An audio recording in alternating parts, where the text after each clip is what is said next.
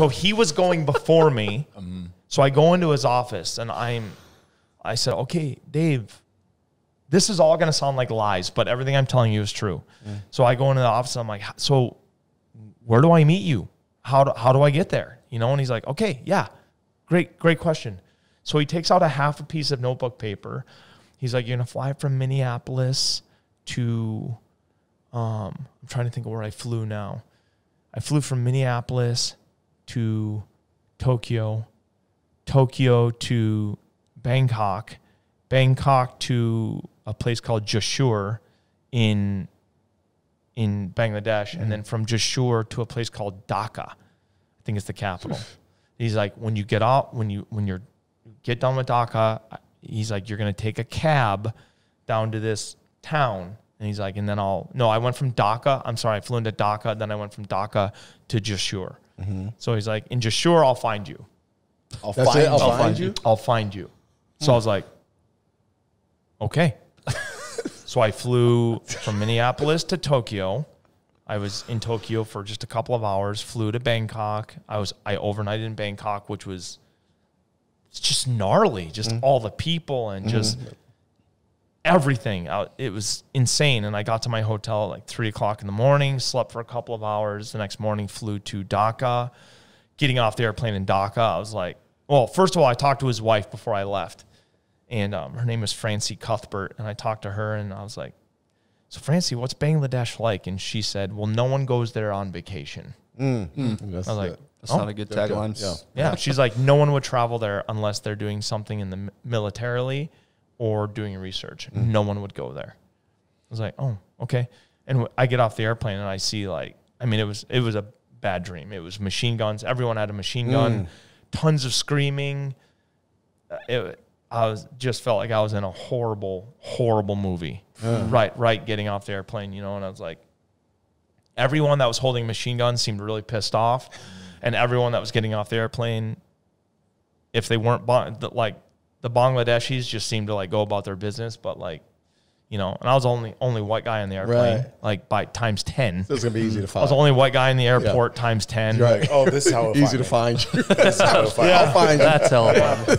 So I, you know, and I went up to the security guard and he had an AK and he's screaming at me. And so I didn't kind of negotiate my way through security because they didn't want to let me in the country at all. And so um, then my professor says, You go from this airport.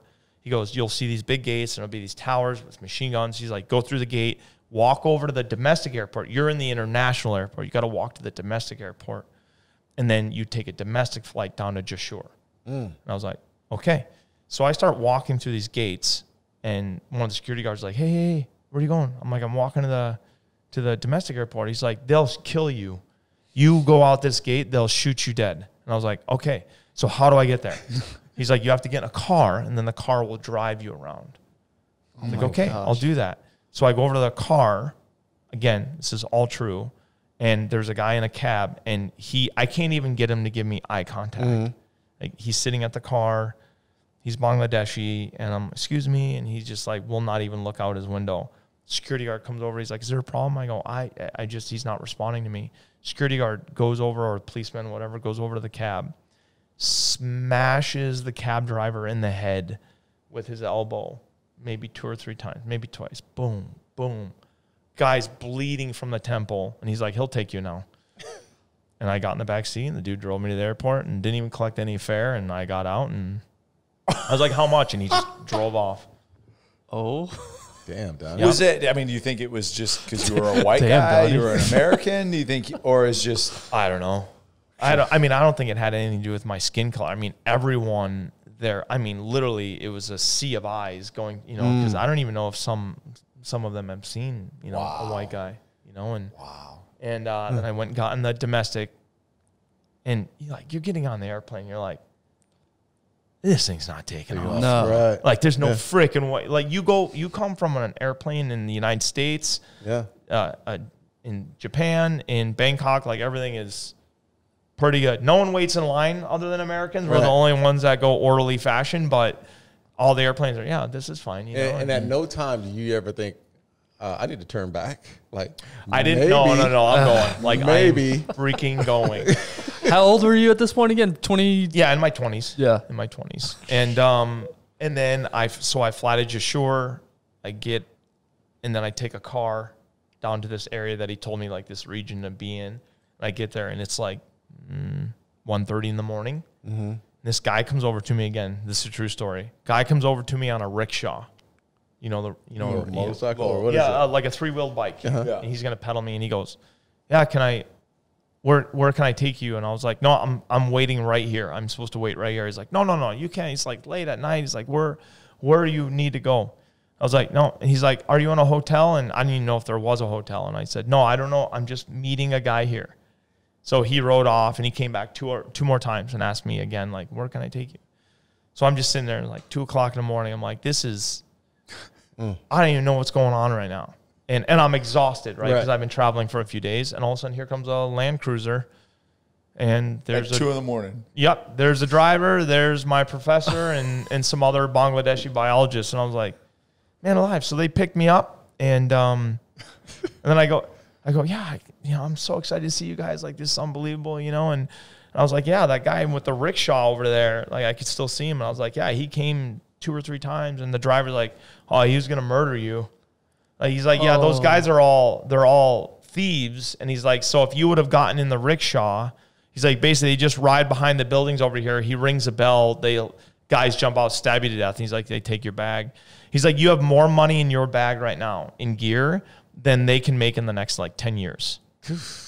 He's like, they were gonna murder you. Hey, did you happen to ask the professor like, why didn't you tell me like half of this shit? See, he and it was all like he gave me a half a piece of paper, and it was funny because I went and bought, and I feel like I might be embellishing this a little bit, but I went and bought a book on Bangladesh, on traveling in Bangladesh, and basically in the book it said, "Don't take a bus, uh-huh. try not to fly, don't get in cabs." Like it's basically like don't travel in Bangladesh. I was like, just don't. don't do don't do this. Shortest book ever. Yeah, because there's they, they there's a ton of kidnapping there. Yeah. So I was just like, man, alive. They kidnap. That's one of the things they do is they kidnap you for ransom, and if there's no ransom, they just like anyone that's kidnapped is getting killed. Like, there's no there's no light at the end of the side. So after that, So tigers were nothing. yeah, tigers. I mean, once this. we got into the jungle, then it was You were safe. Yeah. It was great. Yeah, it was in the city. That That's that's great. So that I- was I my wanna- first- But I, I even want I want like you got us there now. I even want to know. Like I've always been thrilled about specifically about animals that that can kill you. can kill you. Oh yeah. Hey, you're or, or now you're in the jungle. What is your goal? What are you there for? So, and I'll tell you right off the bat because everyone asks me, and everyone's always super disappointed. But I never even saw a tiger. Oh, hmm. bummer. But I was getting, I was a few times, I was basically like in this room with a tiger, but I couldn't see them because the jungle was too thick. So we could see where they had stepped. And when they would step, this is a place called the Sundarbans. It's the world's largest mangrove swamp. Hmm. So it's a series of islands and channels. And when a tiger would step, their um, prints they call pug marks would fill with water. Mm-hmm. So a few times we were in the jungle moving around, we'd find a pug mark that was just dimpling with water. The water was oh, just, just starting. the- so it's within like ah. 30 seconds, 20 seconds, something like that. So he's right here, you know, but I, it's just too thick to see see him. him. Yeah. It's dense? just Good night. dense. Dense, like it's yeah. a wall, a physical wall. Plus, mm. you can't go like there's saltwater crocodiles and bull sharks and cobras. Not and gators, crocodiles. The Crocodiles. Oh yeah, they'll looking eat you. Like I was washing my feet one day because we did everything from a boat. We lived on a boat. We lived on a boat that would sink. Every day we would have to bail this big boat out that we lived on. Dude, I'm, I'm like, Dude, I'm you won't even stay in a La Quinta, lost. Uh, I'm much lost. less a, a boat. You see me? I'm squirming over here, man. And then I we would get on these little things that looked like gondolas, and we would drive down all these canals. And basically, we were every time a tiger would cross the canal, that was an event, right? Not seeing the tiger, but the tracks. Mm. So that would be an event, and then you see, okay, there's another event, another event, and basically, we're using all of these crossings to come up with some idea of what the population we think might be in this area of the Sundarbans. They're trying to map out because the tigers are hunted still, they're poached, and you know, Yeah. so like they're super endangered. There's more people, a lot of people know this statistic, but there's more tigers in captivity in Texas Mm. than live in the wild.